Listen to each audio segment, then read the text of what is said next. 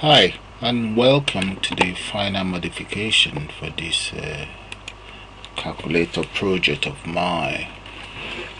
I know it's taking approximately four tutorials. I'm not used to doing long tutorial sessions which I don't I don't really enjoy it myself but I just want to carry out one final modification this very calculator which I did implement in my in my keyboard. I believe you guys have seen that anyway. I'll show you what I'm talking about. You see the modification is going to be a sort of rollover so that when you click on any of the buttons you will be able to it will indicate that uh, the button has been clicked on. Okay. So that's what I want to do for this final modification and at the same time sort of like give you guys the opportunity to view most of the codes that you may have not had the opportunity to see a source. So that's what I'm going to be doing son.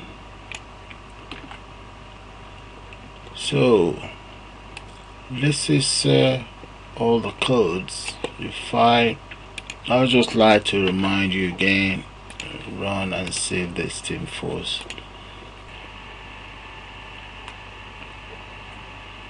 just to show you guys how it looks as a calculator?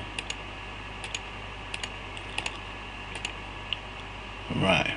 So what I want to do is when I press or depress any of this number I just want you to at least indicate that look this very number has been or this very button has been pressed.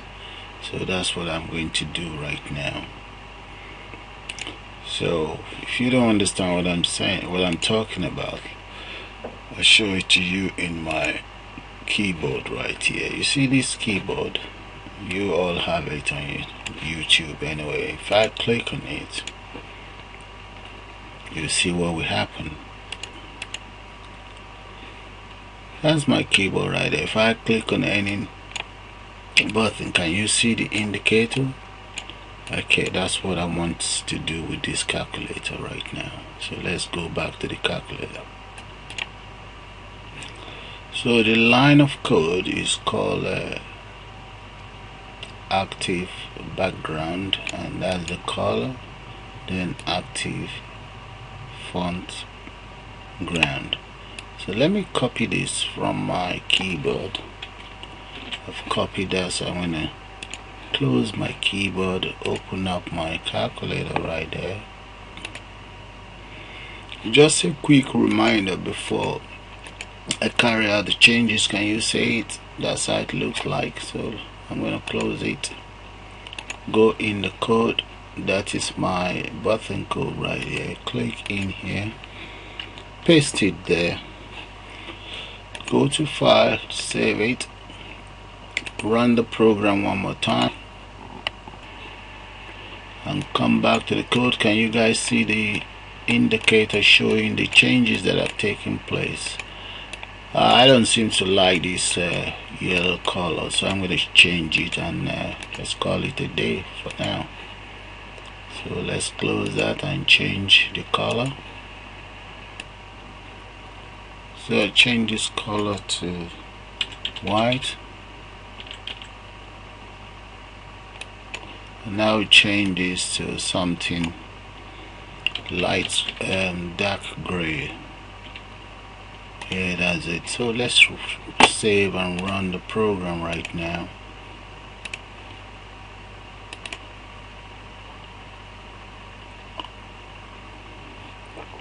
Here we are.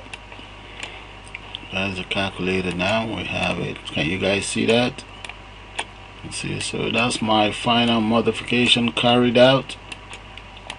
So I hope you all enjoy this uh, tutorial session and you all have a nice day. So just take you back to the code so that you have a quick view of the code. That's it right there. If you want you can always send me an email and I'll forward this code to you